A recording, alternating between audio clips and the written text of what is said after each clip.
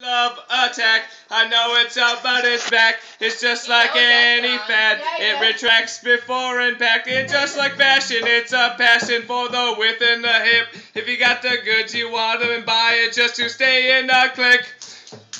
So don't delay, act now. The stars are running out. If you're still alive, six to eight years to arrive. And if you follow, there may be a tomorrow. But if the alpha shun, you might as well be walking on the sun.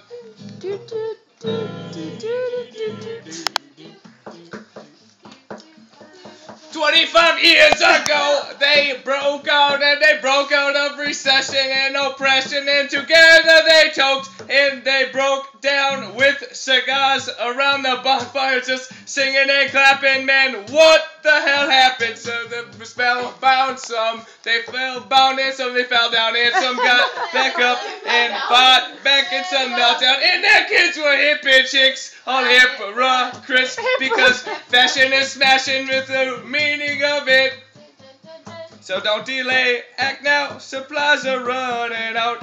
Allow if you're still alive, six to eight years to arrive. And if you follow, there may be a tomorrow. But if the offer shun, you might as well be walking on the sun.